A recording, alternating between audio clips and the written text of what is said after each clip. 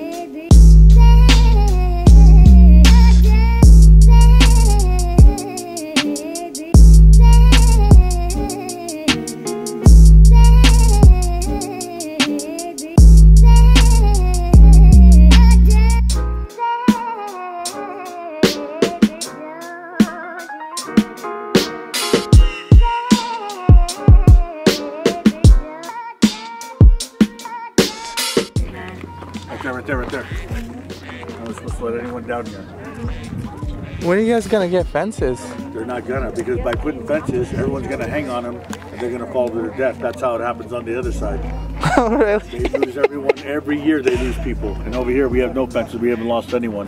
But I gotta have you up there because I will get in trouble. I'm on camera. Okay. I, I will lose my job. You hear the alarm going off, you're gonna you're gonna hear people come running down. Get her back five feet, and then after that point, then you're kicked out. Has anyone tried to like do suicide here? No, It's but like- we've had people doing like handstands and Oh, can I do a handstand? like right there? yeah. No? That means No. که جور من باشین بخورم. از خاطر در چند روز هیچ سنپ های شما نگفتم کمک مصروف بودم. هفته یک ولایت خوش می‌کنیم. و درباره چقدر معلومات بتوانیم برای که دیگه خود بگویم شیر می‌کنیم. از مختار هفته اول درباره بلخ بود که as I said before there's 34 provinces each being select one province the first one being Balkh. I searched up and there's so many interesting stories. About Balkh from uh, the information that I gathered so far um, it's actually strategically placed in of Afghanistan. It's actually right about this part of Afghanistan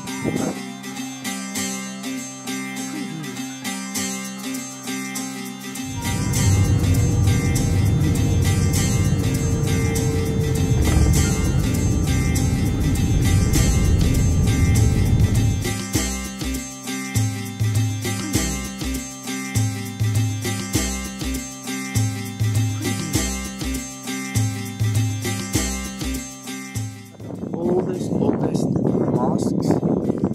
Um, I think it's the seventh oldest mosque that's been recorded is in Balkh. I think it's called the Blue Mosque or the Nine Dome Mosque. Don't quote me on that. But um,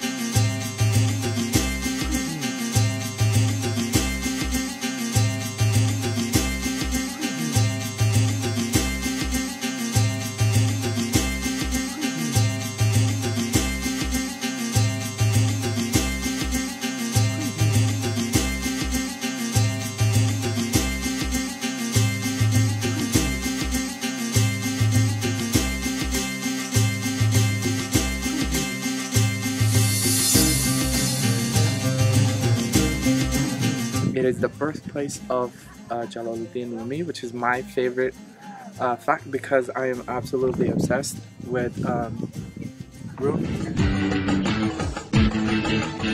Jalaluddin Balkhi was an Afghan poet who is regarded highly by the entire world as one of the greatest poets to ever walk on the face of this earth. So uh, the fact that he's from Balkh really, you know, enticed this whole process for His me. works describe not only mysticism and reflections, which enchanted many of its readers, Jalaluddin Balkhi also concentrated on religion and emphasized heavily on the virtues of following Islamic doctrines. As a Sufi, Balkhi was also a follower of the belief of using music and dance in the quest of obtaining a more spiritual connection with God. Today, his influence of this belief is noted in Turkish dances known as whirling dervishes. Balkhi was not only a poet, but also an intellectual, a philosopher and a scholar. He was also a musician. Evidence shows us that he was also skilled in playing an ancient Afghan instrument called the rubab. Balkhi is considered as an evolutionary thinker, bringing about a further understanding of the spiritual enlightenment of the soul Um, after some death. Some other really cool facts about Balkh. Once the center of Aryan and the great Khorasan civilization lying on the Silk Road with more than 5,000 years of civilization, today Balkh is a major metropolis and regional industrial hub for Central and South Asian markets. To reinvent Balkh's magnificent past as the center of prosperity. Balkh is a major commercial and business hub for nine provinces that inhabit nearly one third of the Afghanistan population. Being strategically located in the north, Balkh provides access to investors to untapped markets across the north and ample opportunities for investments and growth in service and manufacturing industries.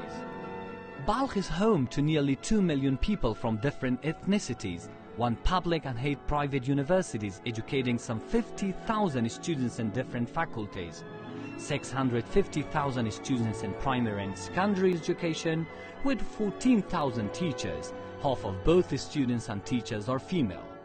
Balkh is rich in human resources, with tens of thousands of professionals in each field. Women in Balkh work shoulder by shoulder with men in all walks of the society. A recent survey shows 50% of men in Balkh agree that their female counterparts work outside their houses, which is a significant achievement in the Afghan male-dominated society. Independent media has a strong presence in Balkh. There are 16 TV and 18 radio stations, some exclusively for women based in the province. More than 30 newspapers get published here.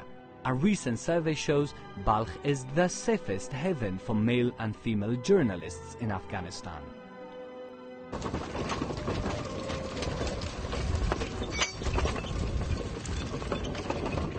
The territory to which Balkh serves as the regional hub is home to significant share of Afghanistan's vast reserves of minerals. When all cities prepare to go to bed, Balkh doesn't.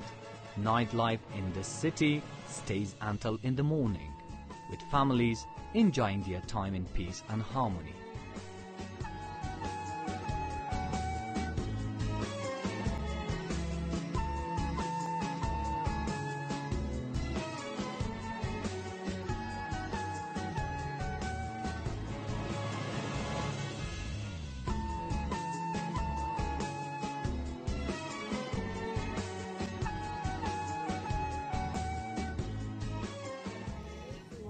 By the way, I'm in Grand Canyon right now. Uh, Grand Canyon is a national park in United States.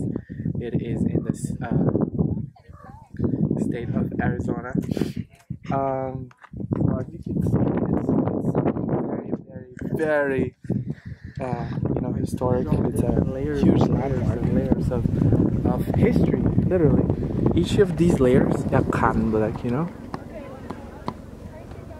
So really cool stuff. I'm trying to be like Bill Nye, that science guy. But anyway, so uh, we're gonna continue with your snaps. Thank you for um, sharing all these uh, amazing, beautiful snaps of Afghanistan, of Balkh specifically for this week.